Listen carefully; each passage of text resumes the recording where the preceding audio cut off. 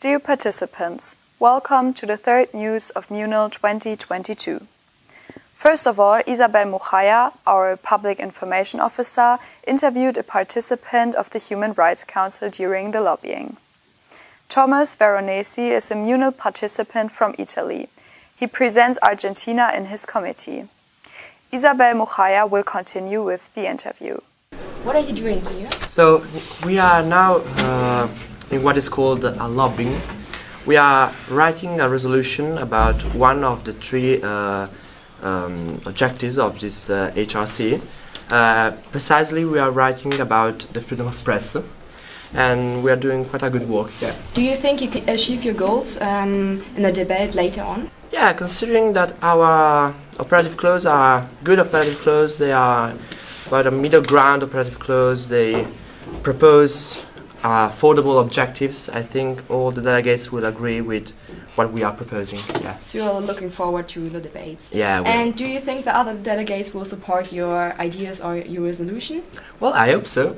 I think that most of the delegates who represent democratic countries will, will share our opinions, but also uh, delegates from less democratic countries will see that we have a point. Thank you so much. Thank you. That was Isabel Muchaya interviewing the delegate of Argentina in the Human Rights Council. Next, you can see some punishments.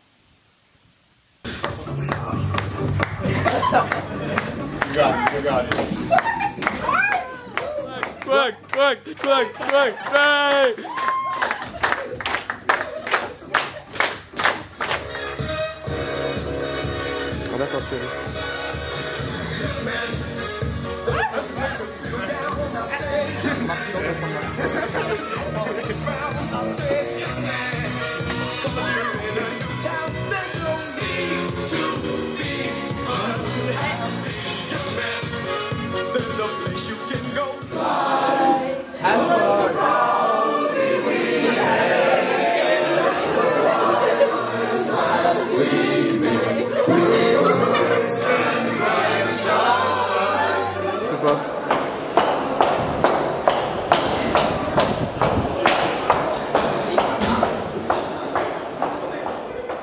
Yesterday, the first debate started, and in the Security Council, a crisis took place. We interviewed the president of the Security Council to get informed about what the situation was like. Uh, what is the crisis about? Uh, so in Security Council today, we uh, had the crisis that the People's Republic of China um, is, was planning to uh, annex the island of Taiwan, or uh, also known as the Republic of China. So uh, it's just been an ongoing conflict since uh, the Chinese separation. So um, yeah, it's uh, also uh, quite also a possibility maybe. What was the biggest discussion point until now? Um, until now, um, they uh, discussed on how to uh, secure Taiwan because um, new news is coming in uh, all the time, and until now, uh, it was possible to remain peaceful, but uh, this may uh, continue as there are uh, conflicts rising. What are the different opinions of the countries? So um, the um, country of the People's Republic of China obviously um, sees it as more uh, as, as their right that they that Taiwan is just a uh, a province that uh, spliced off of the main uh, China. So they see their legitimization uh, in the history. Um, and on the other side, on the Taiwan side, is uh, basically more or less all the Western world. So USA, UK, um, and uh, they just really uh, want to protect the integrity of Taiwan. Did something happen already that surprised you?